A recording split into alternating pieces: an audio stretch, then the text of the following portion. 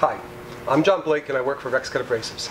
And today I would like to talk a little about our cotton fiber mounted points and how they can help you with your critical deburring applications.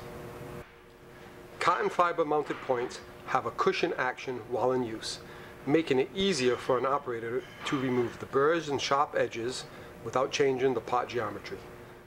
Hi, in this demonstration, we'll be showing the W163 A80 MTX on a high nickel alloy turbine blade.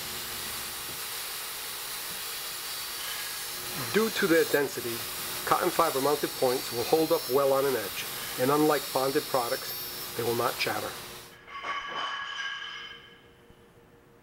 Our cotton fiber mounted points are produced in three main bonds. The softest, GFX, medium, JTX, and the hardest would be MTX.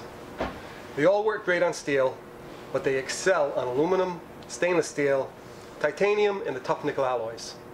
All of our points are offered in either aluminum oxide or silicon carbide in a grit range from 24 to 320.